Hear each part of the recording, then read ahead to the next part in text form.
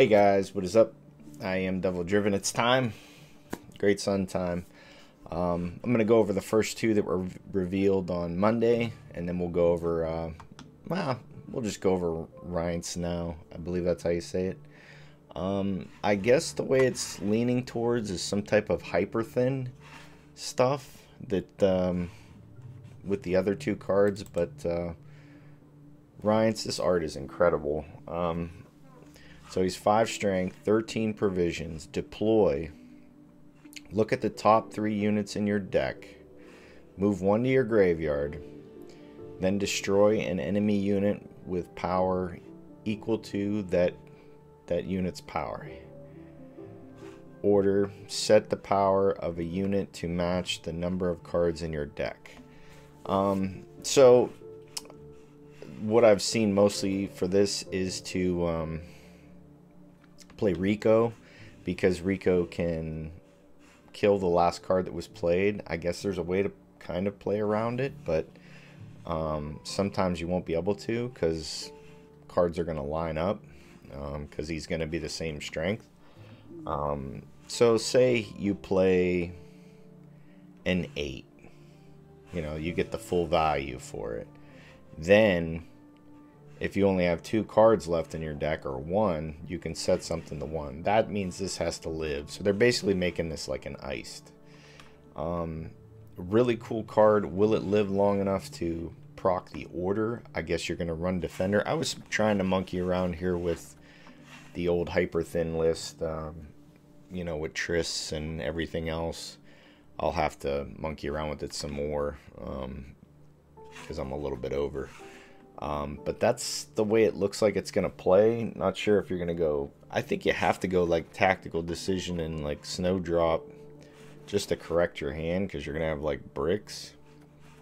I guess Viper is an option too that you can put it in the graveyard and then bring it out. But I, people are saying like playing this round one. Do you want to play a 13 provision card in round one? Like, especially since it's five strength, like it just dies. Um, I don't think so. I think too, like, unless people are holding charges and stuff like this, you're gonna have to use, you know, your leader ability or a rebuke. It sucks. It's five. I mean, I guess it's in the same range as ice, but ice gets to proc it all in one go, and I'm not sure how you could do that since it has an order ability. If it didn't have the order ability, it would be Ice 2.0. It'd be incredible. Um, but yeah, that's I, I, guess that's what you're trying to do. You're trying to pair it up with uh, with Rico, which he's only six. I mean, it's not really that you know bad, but and it's always procking even in the deck. So if they play something beefy, you drop you know Ryanson, you can deal with it. It's instant removal, but Will this other portion ever get to pop off? Sometimes it will, sometimes it won't. I guess iced is the same way, though. I mean, you don't get the bloodthirst all the time, so... Um, I like the card. Unsure of how the deck is. The um, Epic card hasn't been revealed yet. It won't be revealed for a while, so I probably won't put it in the video till maybe tomorrow. Um, but really cool card. These other two cards, I um, read them incorrectly originally. Um, this Blightmaker art, though, is incredible. Um, so it's four strength, five provisions. He's a human mage agent, which it looks like agents are going to come into play with it too. So maybe, you know, maybe we play False Ciri. But he's deploy, move a card in your deck to the top.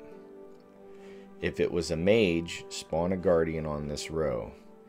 If it was a special card, spawn and play a cow carcass. So um, you get to pick what you move on the top.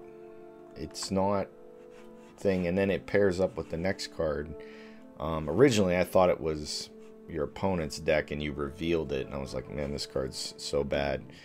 Um, but it um, it's it's basically the skirmisher type card for Skellige except you automatically get it. Like it's unless you know with the Skellige card, you have to have the skirm in hand. This you pick it. So if you want to play poison, you can. Or you can play the other card, which is the